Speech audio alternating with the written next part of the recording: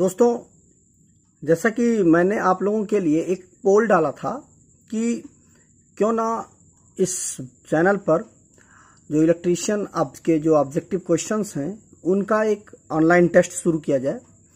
तो उसमें बहुत सारे साथियों ने कमेंट किया और वोटिंग भी दिया कि हाँ बिल्कुल शुरू करिए।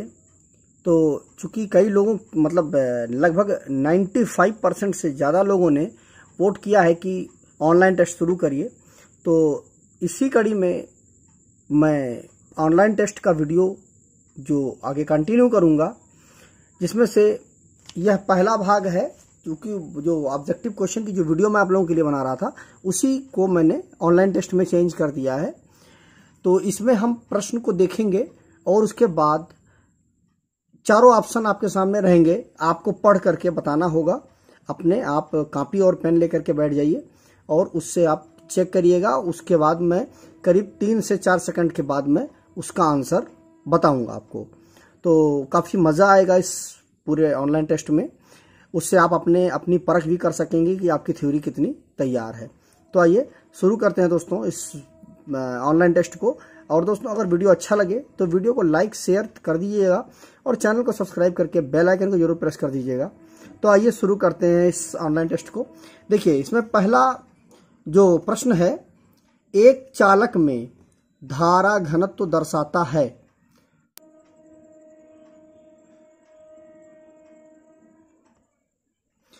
इसका जो दोस्तों, आंसर सही होगा, वह ए सही होगा। प्रति इकाई, देखिए, चालक का जो घनत्व होगा, धारा घनत्व जो होगा, वह प्रति इकाई क्षेत्रफल में प्रवाहित होने वाली धारा होगी। ठीक है, इसका जो फॉर्मूला आएगा, वह J is equal to I upon A ये फॉर्मूला है जो कि current flowing oblique unit area होगा, जिसमें से जो जे होगा हमारा, यह करंट डेंसिटी होगा आई करंट होगा और ए एरिया होगा। ठीक है? तो ये फॉर्मूला हो गया। अब आप मिलान कर लीजिएगा कि कौन सा ऑप्शन आपका सही था, आपने सही लगाया कि गलत लगाया। अगला प्रश्न है, आइए देखते हैं। 360 कुलाम के आवेश पर दो मिनट में अंतरण किया जाता है। विद्युत धारा का प्रवाह निम्नलिखित होगा। इसमें 180 सौ अस्सी एम्पियर 60 एम्पियर, दो एम्पियर और तीन एम्पियर। अब आप देखिए कि कौन सा ऑप्शन सही होगा।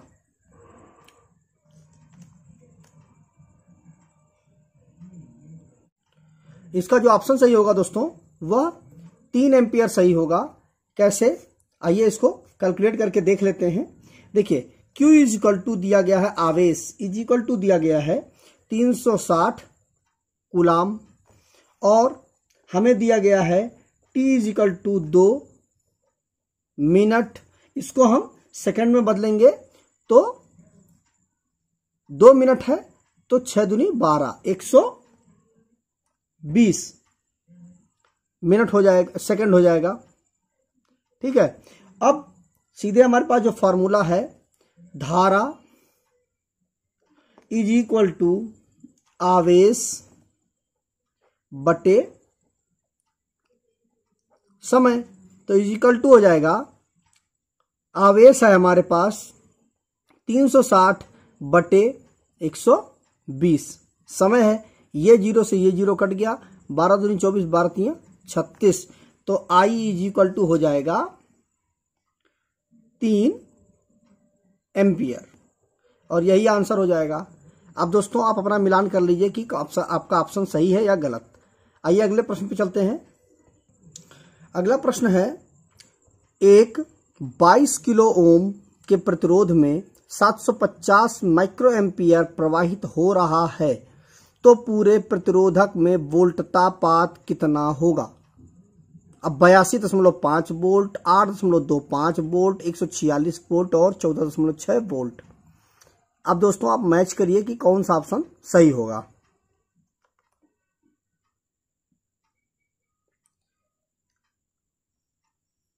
इसका जो हमारा ऑप्शन सही होगा, वह बी सही होगा, आठ दशमलव दो पाँच वोल्ट।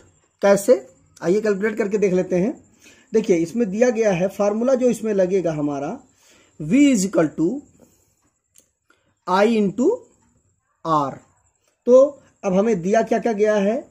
धारा दी गई है हमें आई इज़ इक्वल टू दिया गया है 750 माइक्रो एम्पियर दिया गया है तो इसको हम एम्पियर में बदलेंगे तो into ten to the power minus six ampere कर देंगे।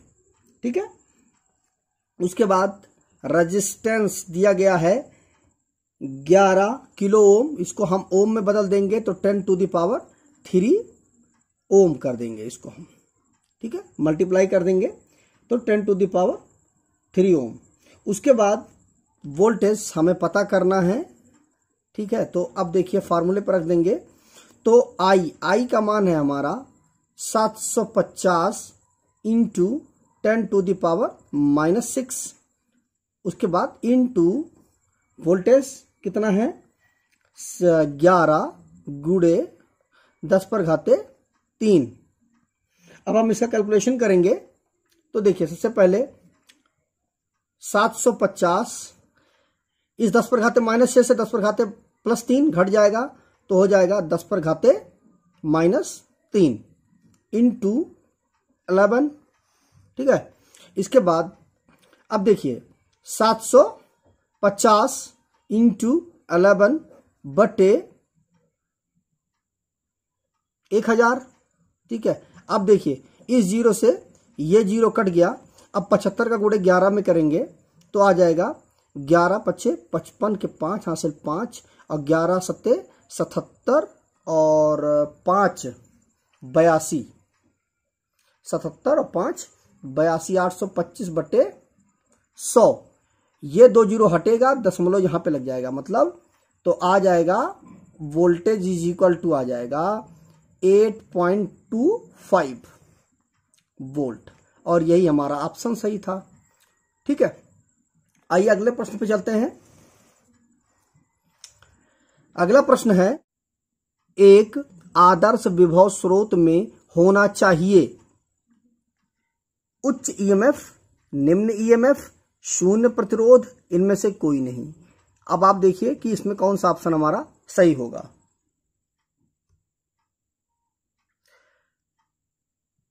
इसका जो हमारा ऑप्शन सही होगा दोस्तों, वह सी सही होगा, शून्य प्रतिरोध। जो आदर्श विभव स्रोत होगा, उसमें शून्य प्रतिरोध होगा। क्या है कि एक आदर्श विभव स्रोत में शून्य प्रतिरोध होना चाहिए, वह वोल्टता स्रोत जिसकी निर्गम वोल्टता स्थिर रहती है, चाहे बाहर, धारा में कितनी भी वृद्धि हो जाए, ऐसा तभी संभव हो सकता है जब स्रोत का आंतरिक प्रतिरोध शून्य या नगण्य हो। ठीक है तो हमारा ऑप्शन सही होगा सी अगले प्रश्न पर आइए, चलते हैं। पांचवा प्रश्न है, प्रदर्शित परिपथ में एक सेक्शन में धारा, आई का मान। यह देखिए, एक फिगर दिया गया है। यहाँ पर किरचाफ का नियम लगेगा कि आने वाली तथा जाने वाली धाराएँ जो भी होंगी, वो बराबर होंगी। तो इसमें आप देखिए कि कौन सा ऑप्शन इसमें सही होगा। इसमें जो ऑप्शन सही होगा, वह डी सही होगा 1.7 एम्पियर। कैसे? आइए देखते हैं। देखिए, आने वाली है दो एम्पियर प्लस एक एम्पियर।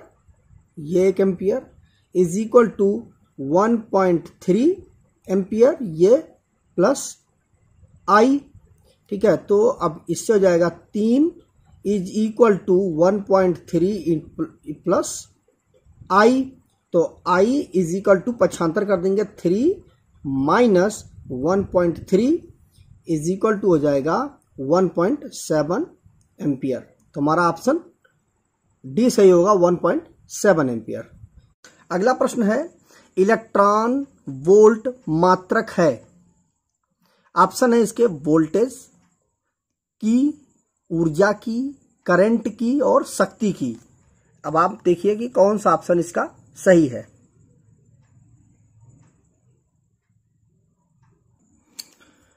इसका जो हमारा ऑप्शन सही होगा, वह बी सही होगा ऊर्जा की। इलेक्ट्रॉन बोल्ट ऊर्जा का मात्रक होता है। अगला प्रश्न ये देखते हैं। सातवां प्रश्न है 100 ओम प्रतिरोध का प्रयोग 0.5 एम्पियर करंट ले जाने के लिए होता है। उसका ऊर्जा वर्गीकरण होगा वाट में। इसका हमारा जो ऑप्शन जो दिए गए हैं वह 50, 25, 200 और 500 अब आप देखिए कि कौन सा ऑप्शन इसमें सही होगा।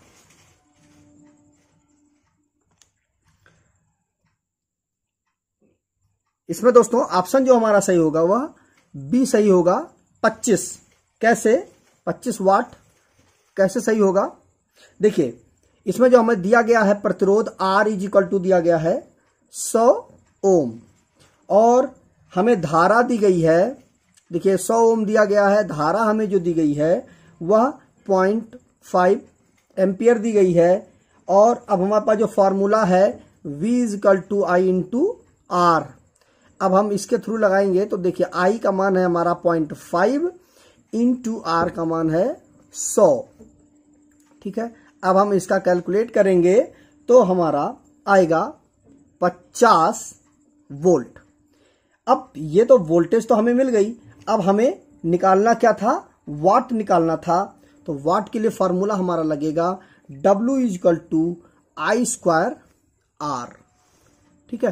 अब आई स्क्वायर आर तो अब हमें आई का मान हमारा कितना था? Point five ampere.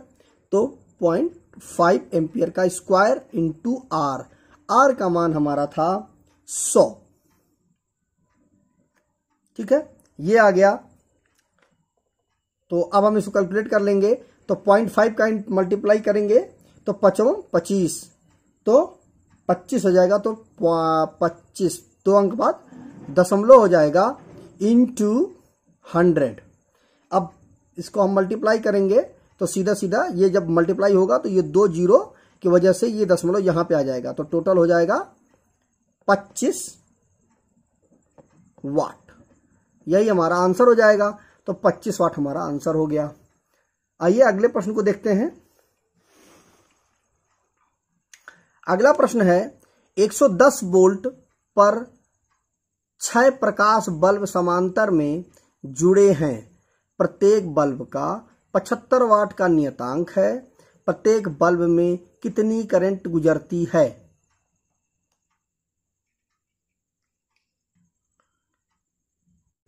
बल्ब का जो वोल्टेज दिया गया है, वह दिया गया है 110 वोल्ट। ये दिया गया है। इसके बाद हमें जो पावर दी गई है, पचहत्तर वाट। अब धारा I is equal to P upon V तो पावर कितनी है? पचहत्तर बटे वोल्टेज कितना है? 110 वोल्ट। अब हम इसका भाग देंगे 110 का पचहत्तर में। तो देखिए, भाग देंगे तो देखिए 110 भागे पचहत्तर, दस जाएगा नहीं, दशमलव लगा देंगे। ज़ीरो बढ़ाएँगे तो ग्यारह ग्यारह सत्ते, ग्यारह छक्का छाछठ। तो छ बार जाएगा। तो छ शून्य शून्य छ एकम छ और छ एकम छ तो ज़ीरो और पंद्रह पंद्रह में से छ गया तो चार, पाँच, नौ। ठीक है? नब्बे आ गया। दशमलव लगा है, ज़ीरो बढ़ा देंगे। ग्यारह ग्यारह, अट्ठे अट्ठासी आठ बार जाएगा। तो आठ शून्य शून्य, आठ एक कम आठ आठ एक कम आठ तो आ जाएगा बीस। दशमलव लगा है, ज़ीरो बढ़ा देंगे, ग्यारह दुनी बाईस। दो बार नहीं जाएगा, एक ही बार जाएगा। तो एक सौ दस। तो पॉइंट सिक्स एट वन।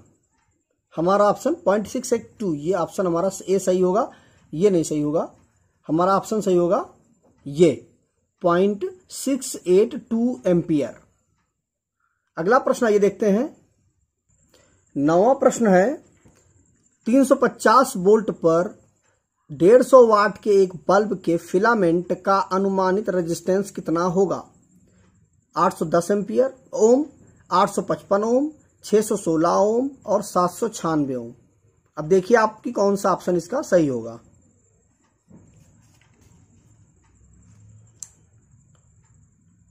इसमें जो हमारा ऑप्शन सही होगा दोस्तों, वह सी सही होगा 816 ओम। कैसे? देखिए वोल्टेज जो हमें दी गई है, वह 350 वोल्ट दी गई है। इसके बाद जो बल्ब का वाटेज है, वह 150 वाट दिया गया है। उसके बाद resistance R is equal to पूछ रहा है। तो फॉर्मूला होगा R is equal to V square upon W तो हो जाएगा। तो वी वी का मान वोल्टेज कितना है? 350 है। तो 350 इंटू तीन बटे डब्लू डब्लू का मान कितना है हमारा? 150 इज़ इक्वल टू कर देंगे। ये इस ज़ीरो से ये ज़ीरो कट जाएगा। पाँच तिया पंद्रह, पाँच, पचपन, पच्चीस, पाँच अड़तीस पाँच सत्ते, पैंतीस। तो हो जाएगा सात गुड़े तीन सौ पचास बटे तीन। ठीक है? अब हम इसका भाग देंगे। तो देखिए, सात शून्य में शून्य, सात पच्चे पैंतीस के पाँच हासिल तीन, और सात त्रिक इक्कीस, बाईस, तेईस, चौबीस। चौबीस बट्टे तीन। अब तीन का भाग दे देंगे।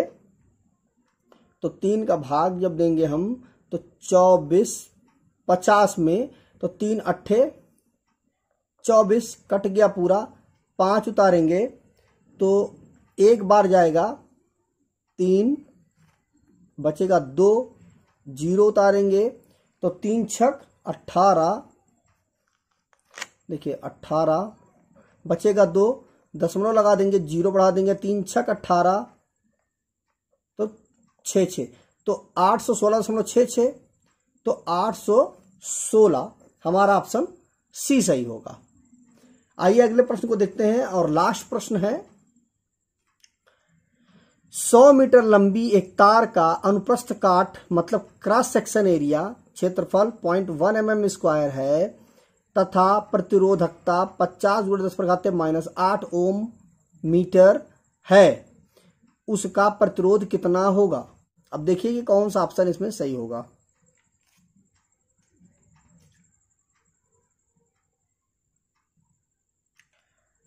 इसमें दोस्तों ऑप्शन जो हमारा सही होगा, वह ए सही होगा। ठीक है? कैसे? देखिए, जो हमें एल दिया गया है, वह सौ मीटर ये दिया गया है। और जो हमें एरिया दिया गया है ए दिया गया है point one M M square. इसको हम मीटर स्क्वायर में करेंगे तो one into ten to the power minus seven metre square हम लिख सकते हैं, अगर हम इसको जब मीटर में चेंज करेंगे। ठीक है? तो R is equal to formula होगा। R is equal to rho L upon A ये फॉर्मूला होता है। तो आर इज़ इक्वल टू इसमें जो प्रतिरोधकता है रो रो का मान हमारा, इसमें देख लीजिए। रो का मान दिया गया है पचास गुड़े दस पर घाते माइनस आठ। ठीक? ये दिया गया है। तो लिख दीजिए आप, पचास गुड़े दस पर घाते माइनस आठ। इंटू एल एल का मान है हमारा सौ मीटर बटे ए ए का मान है हमारा एक गुड़े दस पर घाते माइनस सात। ठीक है? ये है। तो इज़ इक्वल टू अब हम इसको कैलकुलेट करेंगे तो देखिए, पचास गुड़े दस पर घाते माइनस आठ, ये है इंटू हंड्रेड इंटू दस पर घाते माइनस सात है, ऊपर लेके जाएँगे, दस पर घाते सात हो जाएगा। ठीक है? केवल दस पर घाते सात। अब देखिए, दस पर घाते माइनस आठ और दस पर घाते सात है तो ये घट जाएगा तो एक बचेगा। दस पर घाते माइनस में एक और ये पचास है तो सीधे सीधे ये पाँच आ जाएगा। ठीक है? इन टू हंड्रेड ये हंड्रेड है इजिकल टू आ जाएगा पाँच सौ ओम। यही हमारा आंसर हो जाएगा। तो ऑप्शन हमारा सही होगा ए। तो दोस्तों, ये रहा एक ऑनलाइन वीडियो जो कि ऑनलाइन टेस्ट पे आधारित था। तो दोस्तों, ये रहा दस क्वेश्चन का ऑनलाइन टेस्ट। मुझे उम्मीद है आप लोगों ने इस वीडियो को एंजॉय किया होगा। अगर वीडियो अच्छा लगा हो तो वीडियो को लाइक कर दीजिएगा, शेयर कर दीजिएगा। और दोस्तों, हो सके तो चैनल को सब्सक्राइब करके बेल आइकन को ज़रूर प्रेस कर दीजिएगा। तो मिलते हैं एक नए वीडियो के साथ। तब तक अपना बहुत बहुत ख्याल रखें। नमस्कार दोस्तों।